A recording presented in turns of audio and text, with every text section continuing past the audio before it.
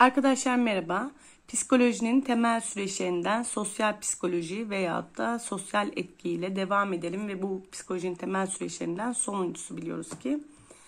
Hemen sosyal psikolojinin ne olduğuyla başlayalım. Sosyal psikoloji bireyin diğer insanların varlığından etkilenerek ortaya koyduğu davranışları inceleyen bir bilimdir. Ee, bireyin sosyal ortamlardaki davranışlarını inceliyor arkadaşlar. Birey grup etkileşimini inceleyen bir bilim diyebiliriz. Yani biliyoruz ki e, insanlar toplum içinde yaşıyorlar ve yaşamlarında da başka insanlarla ilişkileri de oldukça önemli bir yere sahip. Bu anlamda insanların diğer insanlardan etkilenmemesi, yani hiç etkilenmemesi hemen hemen mümkün değil. Birazdan da bahsedeceğim. İşte insanların bir kişinin davranışlarından veya tutumundan etkilenmesi ya da birilerinin davranışlarından etkilenmesine biz sosyal etki diyoruz. Dediğim gibi birazdan bu konuya biraz daha açıklık getireceğim. Öncelikle sosyal psikoloji ve sosyoloji kavramlarının farkına bakalım. Bunları birbiriyle karıştırmayalım. Arkadaşlar sosyal psikoloji psikoloji ile sosyoloji arasında yer alan bir disiplin. Sosyal psikoloji neymiş arkadaşlar? Bireyin sosyal davranışlarını konu ediniyor. Bir davranış e, inceleme söz konusu tamam mı? Sosyal psikolojide bir davranış inceleniyor. Yani bireyin sosyal davranışlarını yani toplum içindeki davranışlarını inceleyen bir bilim. Sosyoloji ise toplumun yapısını, işleyişini ve özelliklerini konu ediniyor. Çünkü sosyoloji sosyal psikolojide olduğu gibi birey toplum etkileşimini değil, toplumsal yapı içindeki unsurları ele alır arkadaşlar. Örneğin sosyoloji bir grup içerisindeki bireylerin sosyal statülerine bakar. Ama sosyal psikoloji bireylerin grup içi, grup içindeki statülerinin onların davranışlarını nasıl etkilediğini inceler. Tamam mı? Yani e, sosyal psikoloji insanın davranışlarını açıklarken düşünceleri, heyecanları, tutumları buna benzer zihinsel süreçlerini kullanır. Oysa sosyolojide bu tür psikolojik özelliklere yer verilmez. Genel olarak şöyle söyleyelim son kez. Psikoloji bir insanın zihin yapısını inceliyor.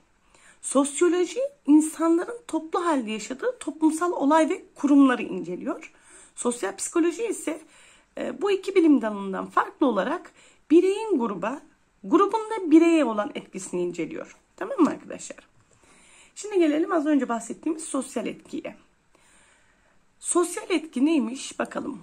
Bireyin tutum ve davranışlarının bir başkasının varlığından etkilenmesine sosyal etki denir. Bu sosyal etkiler sonucu oluşan davranışları ise sosyal davranış denir. Yani sosyal çevreye uygun davranılmasına sosyal davranış denir. Şöyle söyleyebiliriz. İnsanların tek başına rahatlıkla yapabildiği bir davranışı başkalarının yanında yapamamasının sebebi sosyal etkidir arkadaşlar. Yani bu hepimiz için söz konusudur. Tek başımıza çok rahatlıkla yapabildiğimiz bir şeyi başkalarının yanında yapamayabiliriz. İşte bunun sebebi sosyal etkidir. Devam ediyorum. Uyma davranışı arkadaşlar e, nedir uyma davranışı? Şöyle söyleyeyim.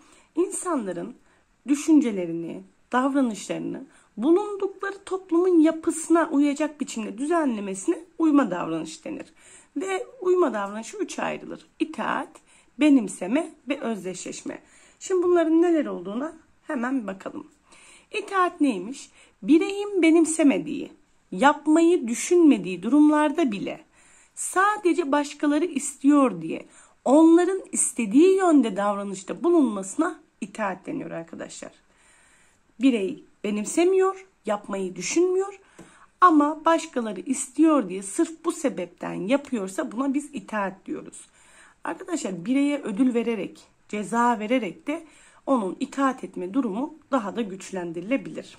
Tamam mı? Gelelim benimsemeye. Benimseme kişinin bir davranışı gerçekten istediği için uyma davranışı göstermesidir. Bakın bir başkasının baskısı, zorlaması yok. Birey kendisi gerçekten istediği için uyma davranışı gösteriyorsa biz bu duruma benimseme diyoruz. Mesela bu itaat ve benimsemeye bir örnek verelim. Örneğin trafikte kırmızı ışıkta geçmek isteyen biri e, trafik polisini veya mobese kameralarını görünce duruyorsa, geçmiyorsa, bundan ötürü geçmiyorsa biz buna itaat diyoruz. Ama etrafta ne kamera var, ne polis var. Birey buna rağmen kırmızı ışıkta geçmiyorsa biz buna ne diyoruz? benimseme arkadaşlar. Gelelim özdeşleşme. Bir kişinin sevdiği, saygı duyduğu kişilere özenerek onlar gibi davranmasına özdeşleşme diyoruz. Yani biz ne yaparız? Değer verdiğimiz, beğendiğimiz insanlara benzemeye çalışırız. Ne bileyim futbol oynamayı çok seven bir genç yine futbolda çok ünlü bir futbolcunun giyindiği markayı tercih edebilir. Bu yine neye? Özdeşleşmeye örnek olarak verilebilir. Gelelim uyma davranışını neler etkiliyor?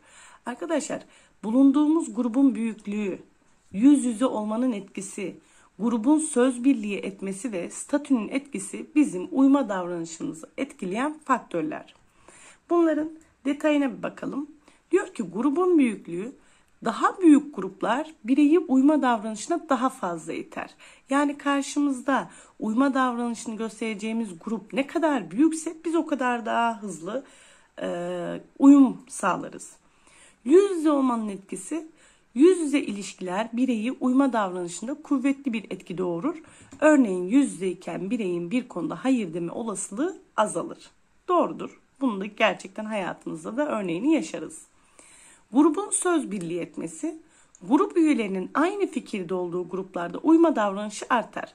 Yani kalkıp 10 kişi bir şeye e, yapalım mı, sinemaya gidelim mi, şu film çok güzel dedi. 10 kişi birden he dediyse ben kalkıp da yok demek de biraz daha e, zorlanabilirim. Bu da benim yine sosyal davranışıma örnektir. Statünün etkisi de yüksek bir saygınlığa ve mevkiye sahip kaynaktan gelen sosyal etkiye uyma davranışı daha fazladır. Yani grupta uzman kişilerin bulunması bizim uyma davranışımız ne yapar? Artırır arkadaşlar. Gelelim sosyal biliş ve iletişim becerileri. Arkadaşlar neymiş? Sosyal biliş bireyin diğer insanlar, gruplar ve toplumlar hakkındaki bilgileri seçme, yorumlama, analiz etme, hatırlama ve kullanma sürecidir. Sosyal biliş, e, sosyal psikolojinin ele aldığı konulardan birisi. Sosyal şema ve yüklemler, yüklemeler, e, tutum ve ön yargılar sosyal biliş türlerine örnektir. Şimdi sosyal bilişin iki öğesi var. Şemalar ve yükleme.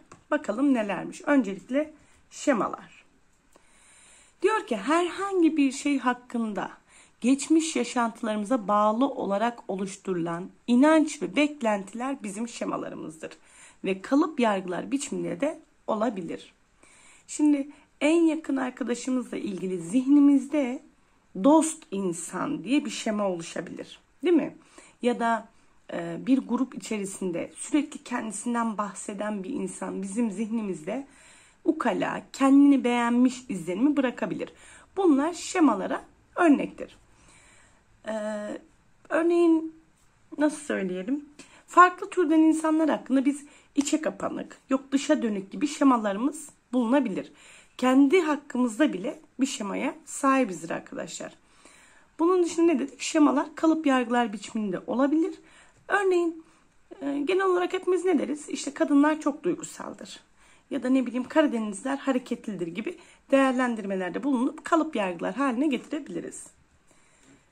Gerçi şundan da bahsedeyim kalıp yargılar derken bu kalıp yargılar kendini gerçekleştiren kehanet halini de alabilir arkadaşlar. Nasıl?